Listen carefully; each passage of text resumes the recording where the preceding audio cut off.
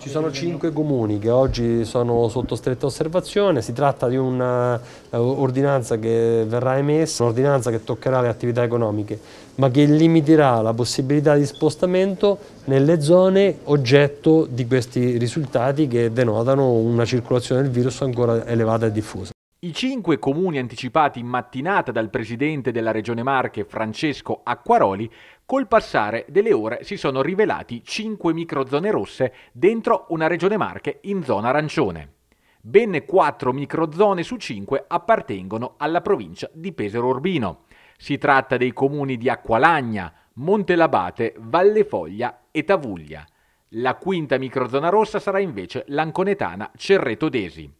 La logica alla base delle microzone rosse è quella di creare un giro di vite di misure restrittive che scattano quando i comuni si attestano sopra a 250 casi per 100.000 abitanti oppure con un analogo numero percentuale di contagi parametrato alla popolazione del comune specifico.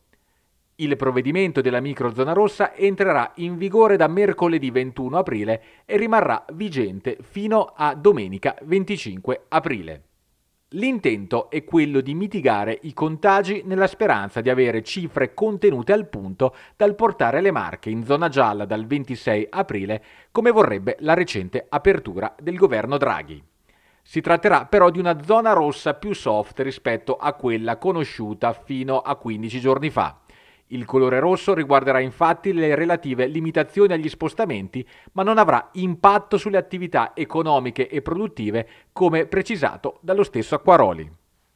Sicuramente quando ci saranno dei dati su alcune zone che dovranno, attesteranno una difficoltà bisognerà intervenire, interverremo per cercare di mettere delle misure di mitigazione che tendano a non colpire le attività economiche ma a creare sicuramente una minore eh, possibilità di assembramenti e una eh, minore capacità di movimenti laddove il movimento col virus che gira può diventare pericoloso. Laddove l'andamento in alcune zone dovesse tornare a crescere in maniera forte, superando i 250 casi su 100.000 abitanti, preferiamo agire in maniera forte, oggi che abbiamo questo parametro in maniera chiara dato dal CTS e dal Ministero della Salute. Preferiamo agire in via preventiva piuttosto che poi vedere chiusure più lunghe e su territori più ampi, anche perché la riapertura al 100% della didattica in presenza sulle scuole, il trasporto pubblico locale che è stato potenziato ma non sappiamo se